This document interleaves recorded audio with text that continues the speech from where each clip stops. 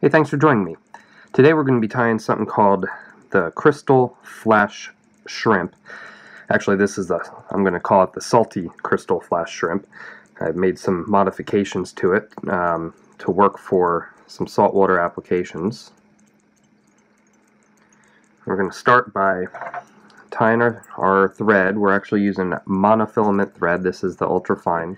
Uh, so we're going to start by wrapping all the way back to the bend of the hook tie halfway back up, roughly about halfway.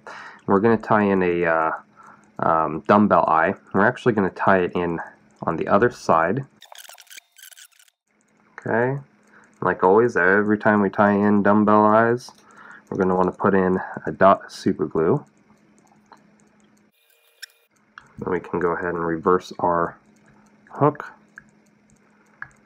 And we're going to wrap back to the bend of the hook once again. I'm going to take three or four strands of krystal flash. You can tie this in any color. Um, this being a salty one, um, where I fish, I, I, the the shrimp are a little more brown, um, so I'm using this bronze color. It kind of matches what what they uh, what they you know look like. Um, so I'm going to take the three or four pieces. We're going to go ahead and um, double them up, so bend them in half and then cut them basically right in half. Um, tie them in right on the top of the hook. Okay, once you get those tied in, we're going to keep our thread at the at the back of the hook here, and we're going to tie in some eyes. Uh, these are monofilament eyes. I actually uh, made these just earlier. I'll have a video up shortly on how to make these. They're very simple, very easy to make. That way you don't have to buy them. The just off-fly fishing stuff is very, very expensive. So I'm going to tie them in at the top of the hook. I want to make sure that they're even. And we want to tie them in so that way they're right perpendicular to where the, the bend of the hook is. Okay, go ahead and really cinch those down. Make sure they won't move. We can cut off the excess of our monofilament.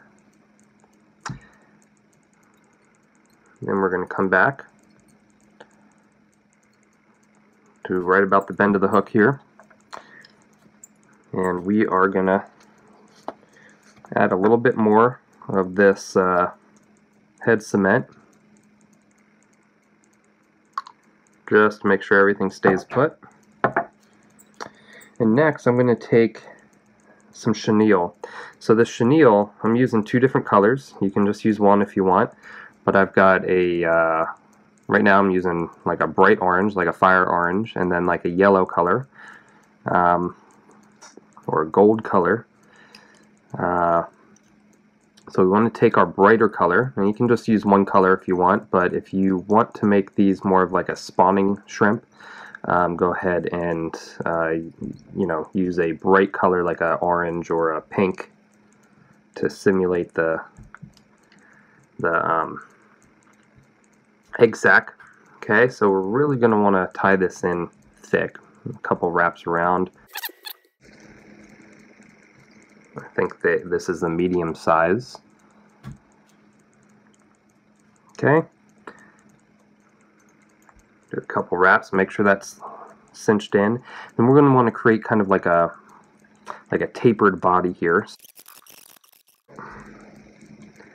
You can see there's a few more wraps up top and it kind of tapers back. That's what you want to do.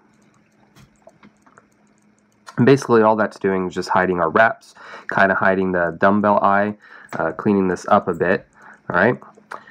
And then the next step is we're going to take some hackle. Now this is really important to choose the right type of hackle. You want something that has a lot of um, a lot of like fuzz on the back, uh, more kind of you know um, well almost like a marabou in a way.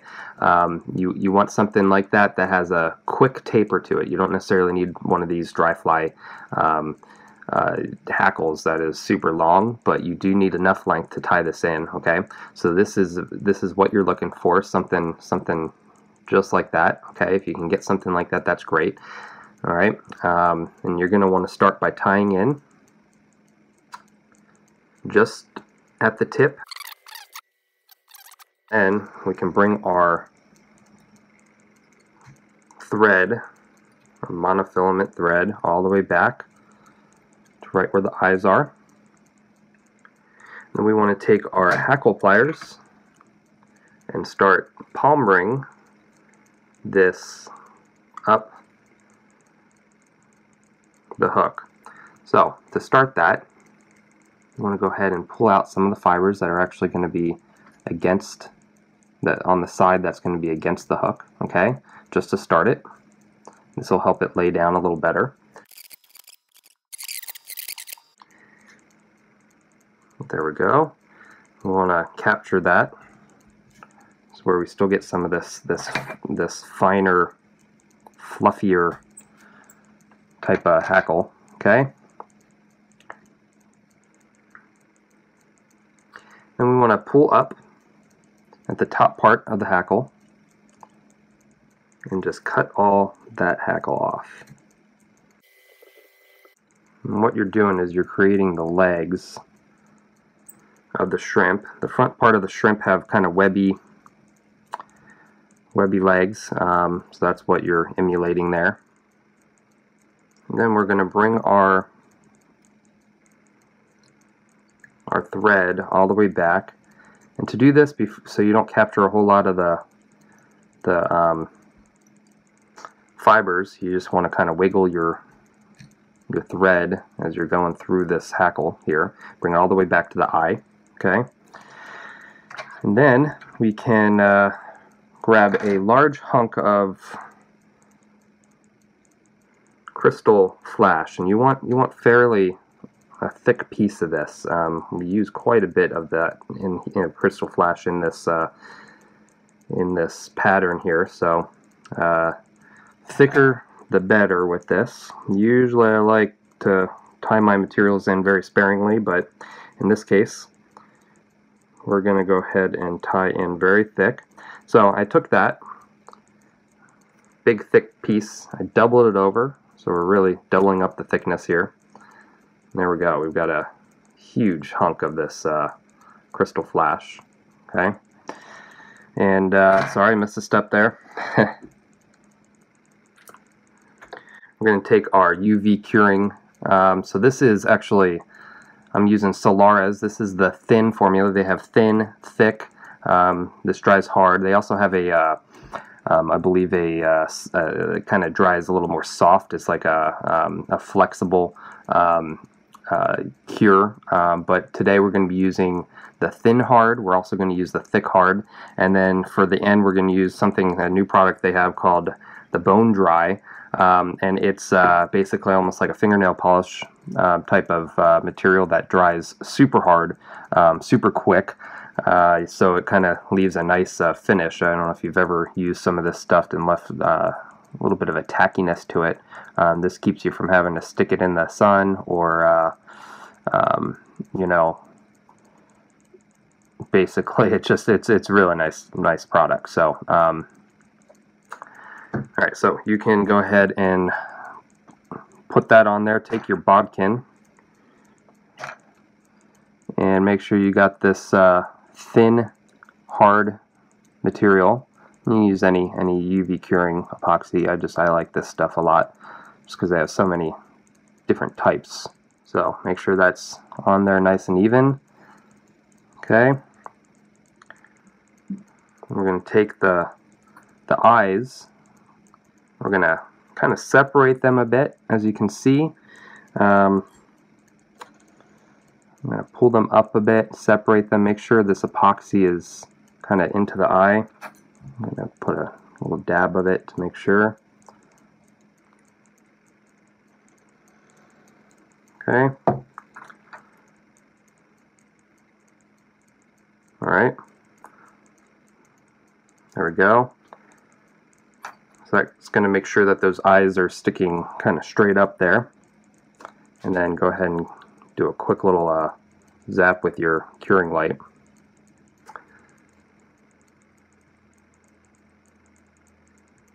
Okay, that's nice and hard. I don't know if you noticed how quick that set. Um, I just got this light from Solarez. That's actually their curing light.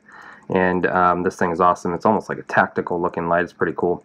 Um, but that, I mean, don't don't go get one. Uh, I, I used to have one of these like Chinese um, uh, lights, you know, just one of these uh, knockoff brand ones, and it, and it just it didn't work. It was, we're back onto our uh, krystal flash. You want to take uh, your large hunk of krystal flash, and we're going to go ahead and tie that in with a little little extra here. Um, we're basically leaving enough for the tail, okay? So uh, we're going to have the tail come over the eye of the hook. So we're gonna go ahead and tie that in right at the eye of the hook. If you tie it in tight enough, it automatically flares out. As you can see, it's got a nice um, flare to it. it. Almost looks like the, the tail of a shrimp. And then we can whip finish. Make sure that you don't capture extra extra fibers of this uh, krystal flash. You're going to pull those up.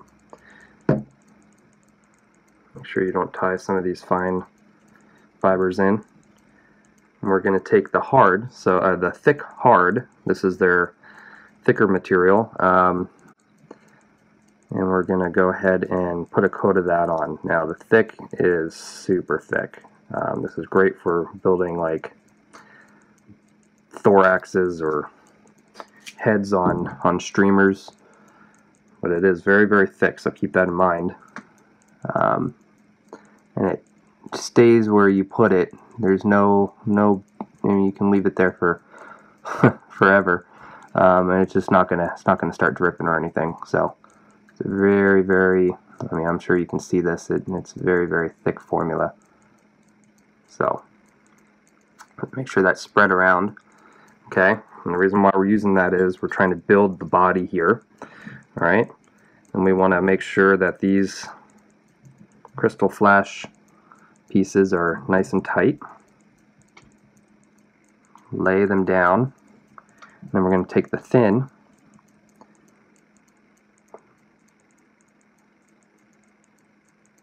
a nice coating of thin on top. Take our bodkin, make sure that's spread around nice and even.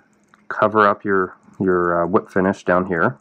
Okay, make sure you get some of this spread up to a bit of the head. Make sure this is nice and centered. Hit it with your UV curing light. What I do is I pull up two, make sure you choose the two of the right size ones. Alright. kind of angle those backward. Now I'm not used to cutting with my left hand, so I'm going to actually switch this around. I usually take it off the vise to cut, but I want you to be able to see this. So you want to separate. Make sure that you leave the kind of feelers and antennas down there. Um, and don't cut those. You want to pull this out and then cut on an angle. And what you're doing is you're creating the the um, kind of horn of the of the shrimp.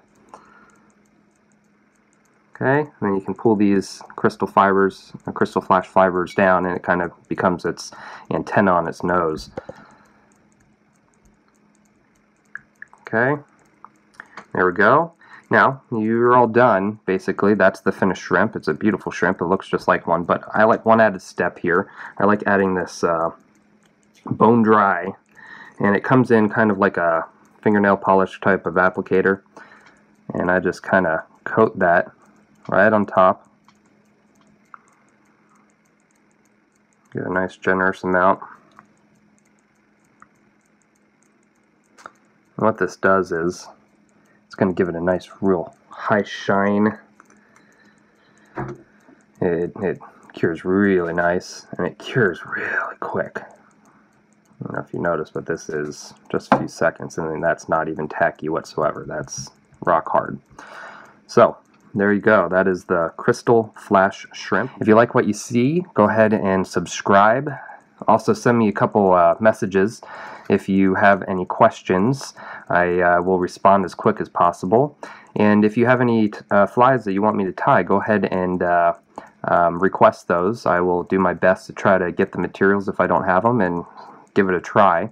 Um, show you kind of how to do those. So thanks for watching and I'll see you on the next video.